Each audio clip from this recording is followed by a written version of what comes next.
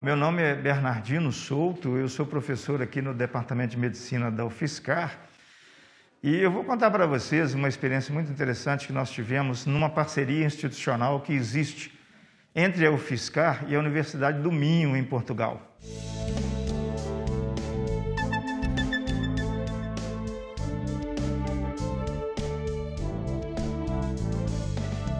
Por intermédio dessa parceria, nós conseguimos desenvolver um trabalho de estudo de genotipagem do HIV muito interessante, porque nós conseguimos ter acesso a 50 mil sequenciamentos genéticos é, do vírus HIV é, obtidos no Brasil.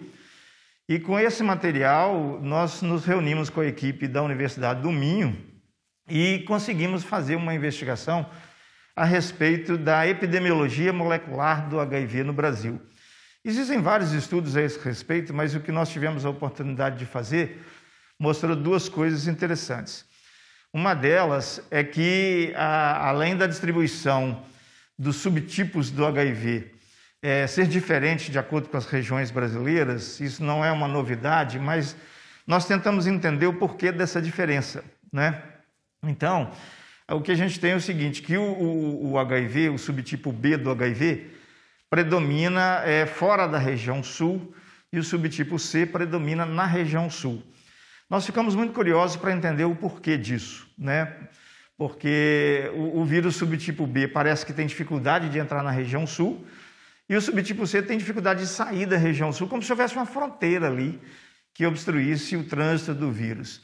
Então, nós tentamos estudar o motivo disso e foi muito interessante descobrir que é, o subtipo B é um vírus que tem uma probabilidade de transmissão maior por relações homoafetivas, enquanto que o subtipo C se transmite é, mais facilmente por relações sexuais entre homens e mulheres e por mulheres é, na gravidez, através da amamentação ou da, da, da gravidez e parto, para os filhos. E aí tem uma questão sociocultural, né, que diferencia um pouco a região sul do Brasil do resto do país, que pode estar influenciando nessa questão. Né? A impressão que a gente tem é que alguns aspectos relacionados a diferenças de, de relação de gênero na região sul, por fatores de ordem cultural, possam estar colaborando para essa distribuição maior do subtipo C lá, que é um vírus mais frequente em mulheres e crianças, e a distribuição maior do subtipo B nas outras regiões é, em que afeta a maior quantidade de homens. Esse estudo mostrou uma coisa interessante também, que é o seguinte, o, o vírus do subtipo C, ele é um vírus é menos agressivo para o organismo.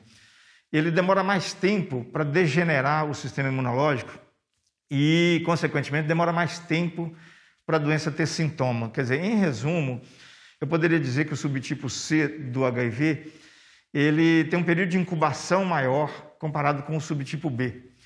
Então, se a doença demora mais tempo para se manifestar, o diagnóstico também demora mais tempo para acontecer. Porque aí a pessoa não está sentindo nada, a doença fica muito tempo dessa forma, no subtipo C, e aí a doença demora muito para ser diagnosticada, a pessoa fica mais tempo transmitindo a doença, porque não sabe do diagnóstico, e isso pode ser outro fator também que vem colaborando para o aumento do subtipo C na região sul, diferente do que acontece nas outras regiões do país. É, um outro aspecto curioso também é que a própria literatura já fala muito sobre a importância da amamentação cruzada na região sul do país, e a gente sabe que a amamentação cruzada é um fator de risco para a transmissão do HIV é, de mãe para filho. Né? A amamentação cruzada é quando uma mãe dá mamar no peito para o filho de outra. Né?